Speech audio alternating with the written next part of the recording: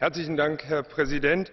Wir haben schon viel gehört und Sparmaßnahmen sind erfolgt. Wir haben der, im letzten Jahr, im letzten Haushalt einiges an Geld eingespart. Nur dieses Haus kann sich auch nicht zu Tode sparen. Die Handlungsunfähigkeit des Europäischen Parlaments würde zuallererst die europäischen Bürger treffen. Der Deutsche Bundestag kostet zum Vergleich im Jahr 7,80 Euro.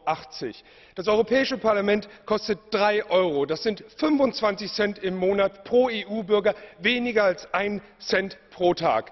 Ich sehe keinen Grund, dass wir Populisten hier nachzugeben hätten.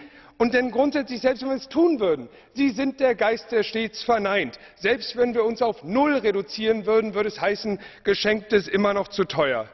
Hier geht es aber nicht um politische Farbenlehre, sondern auch um unser Selbstverständnis als verantwortungsbewusste Abgeordnete.